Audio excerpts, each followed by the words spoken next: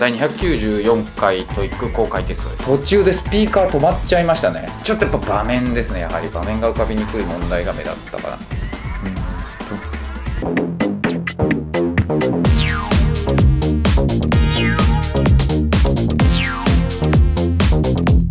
はい、ハローで始まりました。もちつチャンネルです。さあ、受けてきました。第294回 TOEIC 公開テストですね。5月29日午前になります。今回は会員登録から3日間、有料プランを無料、有料プランを無料開放。有料プランも5月30日まで月額958円で12ヶ月使える特別プラン、そして学割月額625円で12ヶ月使えるプランを出してるサンタの提供でお送りいたします。受けてきましたよ。どうでしたか？なかなかいやらしい引っ掛けが目立ったなと思いましたけど、まあ今回初めての会場で全く行ったことないところで、で、しかも男子オンリー会場、久しぶり、男性しかいない、前に男性しかいない会場になった時は、関正夫先生がいた会場ですね。まあ何度か会ってるんですけど、会場では。その時関先生は気づいてなかったですけど、ちょっと離れてたんで、それ以来です。まあ今回なかなか面白かったですね。試験官初めてだったんだろうね。もう全然ダメだったけど、あの途中でスピーカー止まっちゃいましたね。パート3か4の途中で止まっちゃって、何十秒も間がある。次の設問に進まない。すごい先を見せる時間があった。でもこれってリーディングの時間伸びてないんでだからリーディングの時間が短くなったんですよね。誰も文句言わなかったけど音途中で止まっちゃったんですよ。設問のとこだったからまあ良かったね。問題の途中で止まってたらやばかったね。で回収の時に自分の持ってる問題用紙を重ねて集めちゃったみたいでその自分の問題用紙のやつ見せてあなた名前書いてないですよって一番最初の人が言われてた。いやいやいやいや、書いてるからその人。この数えるやつとかも一切やんなかったですね。もうそのままただただ持ってきておしまいでした。終了だったんで、すご数えない試験か初めて見たって思った。まあそんなハプニングもあったんですが、どうだったのか見ていきましょう。パーン。まあ、そんなに難しくはないけど、やっぱ TOEIC で出てきた表現を知らないと、えってなっちゃうかな、やっぱ。うん、過去に出てきた表現はやっぱ知っとかなきゃいけないですね。あこんなんも出るんだっていうのはあったけど、過去に出た表現はきちんと押さえておくこと。Part 2は、まあまあ、いけたけど、悩む問題はあるでしょうね。やっぱ前半、ストレートが多かったんで、回答が。後半にやっぱり変化球が固まってましたね。その固まってたとこは難しかったと思う、やっぱり。あとはいつも言う when と where の音がややこしいやつね。これも2もあったかな。なんでまあ、普通としておきますけど。Part 3! あーとね、1問わかんなかったね。わかんなかったけど、まあこれしかないだろうって思って選びましたけど、ちょっとやっぱ場面ですね、やはり。場面が浮かびにくい問題が目立ったかな。まあ普通かな。で、Part 4はややなんとしますね。うん、ちょっとね、まあ、場面が浮かびにくいだけじゃなくて、いや、それ正解だったら別にこれだってあり得るでしょっていうのが2問連続できたんだよね。一つのセットの最後の問題とその次のセットの最初のやつだったんだけど、いやー、これだってあり得るでしょあーんって思ったね、あれは。まあもちろん TOEIC が望んでる答えはおそらくこれなんだろうけど、だって推測する問題なんでしょだったらこの場面だってあり得るじゃんっていう感じだったね。2つも推測させる問題。よくない。あんなの。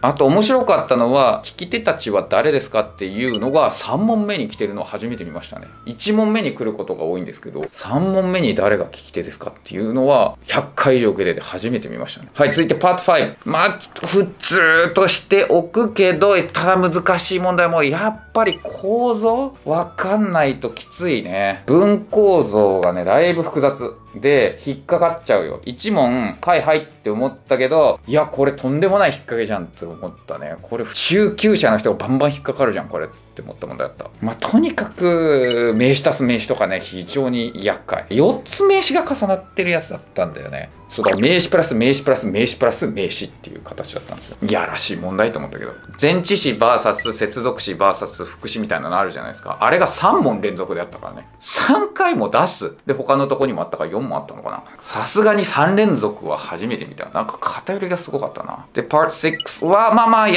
しめかな。1個分挿入問題が難しかった。最後のやつだね。4つ目が難しかったですけど、あとは全部優しかったな。で、Part 7。あ、まあ今回は時計あったんで会場に。だゆっくりやりました。ただむずいっす、やっぱ。ややなんかな。長いし、いつも寝るのが3時、4時なんで、まあ4時に寝て8時に今回起きてるので、だいぶ集中力やばかったですね。何回も読んじゃった。短いやつを。で、えー、これだけで回答根拠にすんの？これをっていうのが何問かあって、いやそれ言える？って思ったけどね。まあ、ただまあお決まりのものは多かったんでちょうど一昨日執筆してたやつとかも出てたしあとねほんとねこれはね間に合ってればよかったなって思って次出る参考書に解説してるところがあるんですよ僕がこうやって読んじゃうと解けないですけど実はこれって皆さんが思ってる意味とは違ってこういう意味なんですよって解説した部分があるんですよそのね本がまだ出てないんであーって思ったね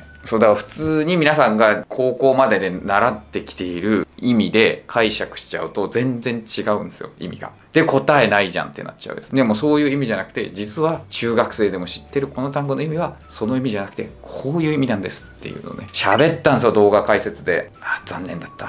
あそういえばパート5にこの後やるライブね。ぜひ見といてくださいね皆さんね。このポイント3回連続で出てますねって言ったやつ。4回連続出ましたね。また出ました。同じポイントが。出題されました。まあ生配信の方でねまた話すと思うんで。はい。という感じですね。お疲れ様でした。いやーきつかったと思うね。個人的には最後から2番目かな一番難しかった。199番かな。まあこれしかないだろうってなってたけどいやこれこんなんで根拠いいのって思ったな。いや困ったな。じゃあちょっとねまだまだだなと思ったんで自分の実力ちょっとサンタでチェックしたいと思います。あまあサンタの分はもうあらかじめ取ってあるんですけど今日のね問題に出た表現出てますね。この後ろに流すの方に。なんで見てみましょう。はい、それでは実際にサンタトイック使ってみましょう。会員登録で3日間有料プランも無料開放されてますからね。やってみましょう。とりあえずテストしてみますね。TOEIC を受験したことはあります。目標点は何点だろうとりあえず990にしてみますか。レベルテストを受けてみましょう。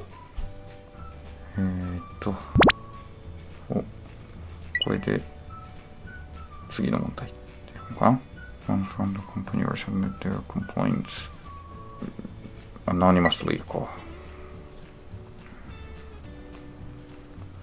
匿名でか。Remove.。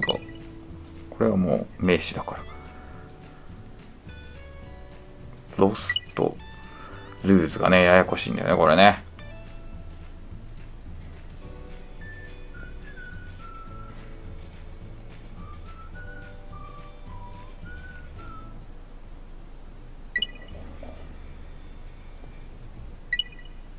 Don't you buy a new office desk?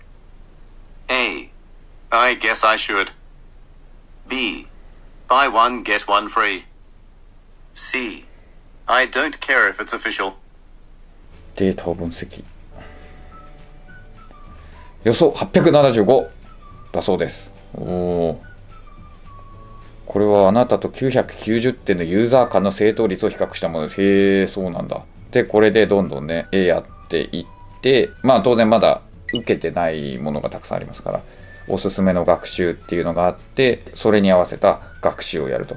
実際ね、僕はまあ、このプレイしてるのは別の動画出てますんで、ぜひそちらで見てもらえればなと思いますね。で、有料プランの方もですね、5月30日までであれば、月額958円で12ヶ月使える特別プランを提供中。で、さらに学生向けにはですね、学割プランがあって、月額625円で12ヶ月使えます。なのでですね、はい、ぜひこちらの方もやってみてください。とにかくね、大量の問題があるので、そして全パートです。パート1からパート7まで全てあって、大量の問題演習ができて、で、これぐらいでできるってことはこれぐらいの能力ですよねっていうのを AI が測ってくれます。でそれは問題を解くスピードだったりとか、どういう風にスクロールしてるかなんていうのも加味されてるんじゃないかなと言われております。はい。ぜひぜひ、 Santa TOEIC 概要欄、コメント欄に貼ってありますので、試してみてください。はい。ご視聴ありがとうございました。Thank you for watching. TOEIC 受験された方、お疲れ様でした。